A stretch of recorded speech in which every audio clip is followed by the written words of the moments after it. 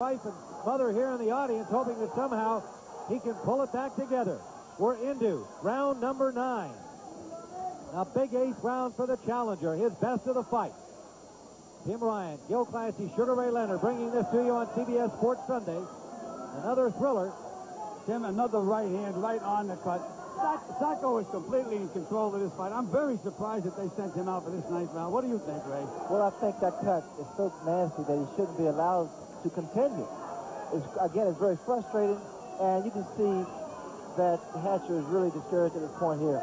Sacco has him completely figured out, and again, Gene can't change his style. He just puts that head in here to get hit. Watch the right hands, Gil. The leadoff right by Sacco. Everybody in the audience, they're starting to yell, stop the fight. Well, that's what the crowd thinks. The Sacco people thought it would be stopped after round eight. And because of the position, the area of the now, cut. Excuse me, Ray, but the doctor the, is now doctor trying is to get the referee's attention. The doctor is trying to get the referee's attention. Yes, he is, at ringside. That's what I said, Gil. He's trying to reach the doctor now, the uh, referee, and he does. And the doctor asking to look at it. And he is shaking his head. And that is going to be it. Referee Magana says no. he wants to continue on. And the doctor is now arguing with the referee. I don't believe this. The doctor is standing there saying, how can he continue? The referee, Ernesto Magana, allowing the fight to continue, apparently against the advice of the ring physician.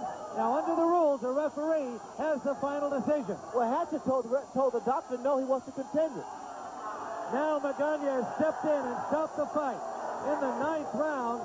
Hatcher wanting to continue, but we have a new world WBA welterweight champion, Ubaldo Sacco from Argentina, who opened a cut in the sixth round and then completely took the fight away from the champion Gene Hatcher, who has lost his title in his second defense against the same man.